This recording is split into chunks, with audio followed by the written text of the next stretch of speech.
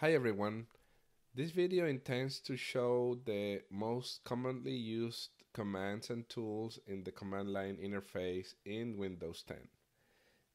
Some of the commands are organized in sections such as navigation commands, networking, disk and file management utilities, and so on. We're going to begin with the navigation command. For that, I have launched a command prompt Windows into the Windows System 32 drivers, etc. folder so we can um, start working on it. So the first commonly used command is com the command called dir directory. And this command will list the content of the current directory. If I just hit enter, it will show me the information about the current directory. You can see the first two entries. We're going to talk about them in a second. There are uh, five files with their names, their creation date and time, and the file size. The first two entries in the dir output are the uh, current directory represented with dot and the parent directory represented with double dot. So from any place in the file system, you can use the cd command, which is change directory, to navigate either to the parent directory or to any directory within the current directory. In the current directory, for example, there are no um, child directories, so the only place we can navigate to is upward or backwards in their hierarchy.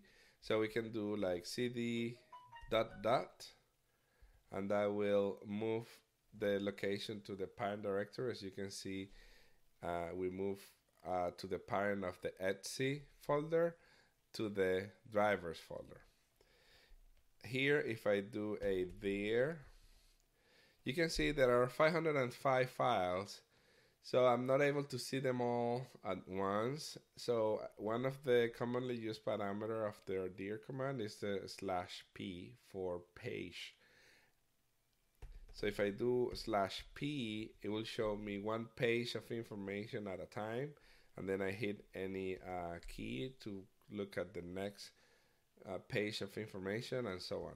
If, if I don't want to browse through the whole output, I can just simply say controlled, holding down controlled and the letter C will cancel the current command. So if you remember, we were on the etc directory, so we can navigate to the etc folder one more time by entering cd space etc, enter, and now we're back to the etc folder.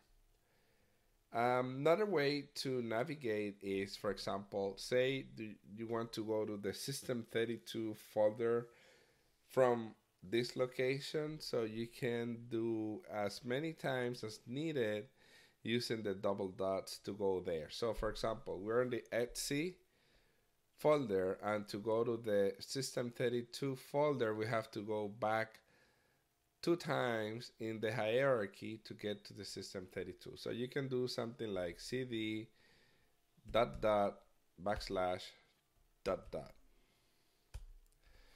that will go back to the um, parent directory and then back again to the parent directory of it, back to the system32.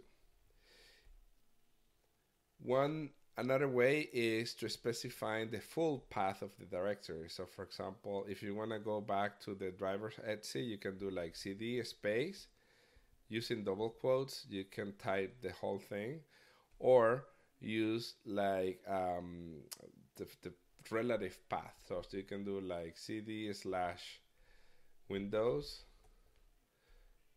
slash system32 and what I'm doing here is I'm not typing the whole thing. I just type in the first part of the words, and, and when I hit tab, it will autocomplete. So next one, for example, is driver. So I can do like backslash dri and hit the tab key.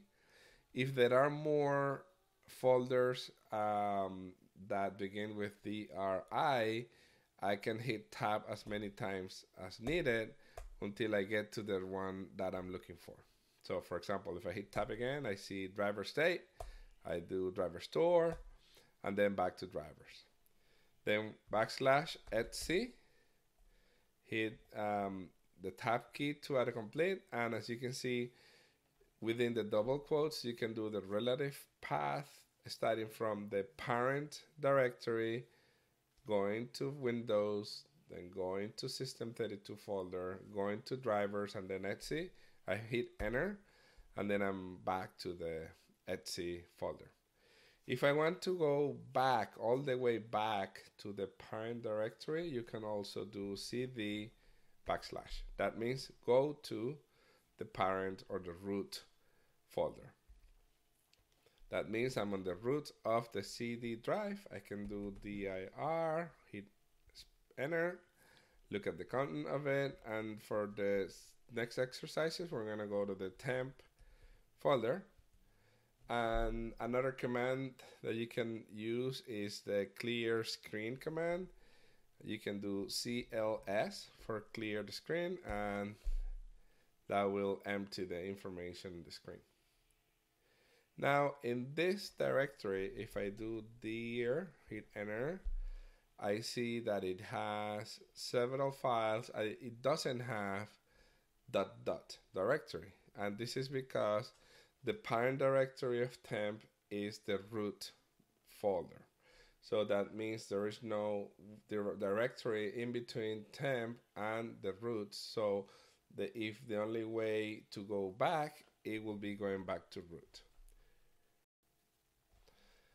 Now inside the temp directory, as it was said, there are some files and folders. I can create a new folder with the make directory command, md, and then followed by the directory name. So let's call it dir name, directory name. So if I do dir again, I see there is a new folder called dir name. And say do you want to copy some of some of the files on the present directory to the dir name directory. So you can do like copy and use something like BC star, meaning every file that starts with BC, move them to the dir name directory, hit enter, and it will tell you that two files were copied. If I do dir again, I see the files are still here. If I navigate to the dir name uh, folder, and I do dir again, I see the files here. Reason is I moved the files, sorry, I copied the file, but I did not move the files. Now, um, say now that you want to delete the files that are in this directory, you use the delete command. You can do del star dot star.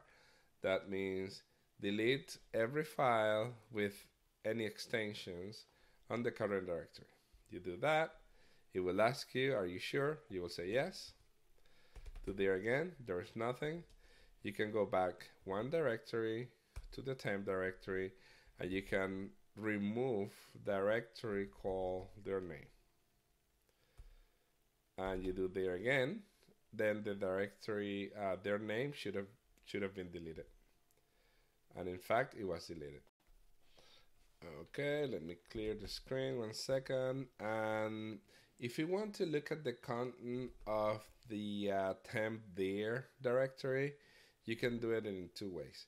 You can navigate to it by using the cd command and then entering dir, or you can simply say dir temp dir from here and it will show you the information of it. In this case, the temporary dir has no files and I would like to move the BC files now into it instead of copying them. So I'm going to do move everything starting with BC to the temp dir folder. Now two files were moved. If I were to do dir again, I see there are no files starting with BC and if I were to do dir temp dir, I can see that the files are there. Next step is um, can we remove a directory that has files in it? So let's attempt to do that. So remove directory temp dir and hit enter same way as we did before. And the prompt comes back saying you cannot remove a directory that contains files. So either you go and delete all the files or you enter the following command. And rm directory with the forward slash s and then the directory name to remove all the files, subdirectories that are inside of the temp directory, including the temp directory itself.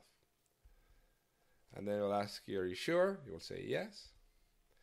If we do dir again, then the uh, temp dir directory is gone.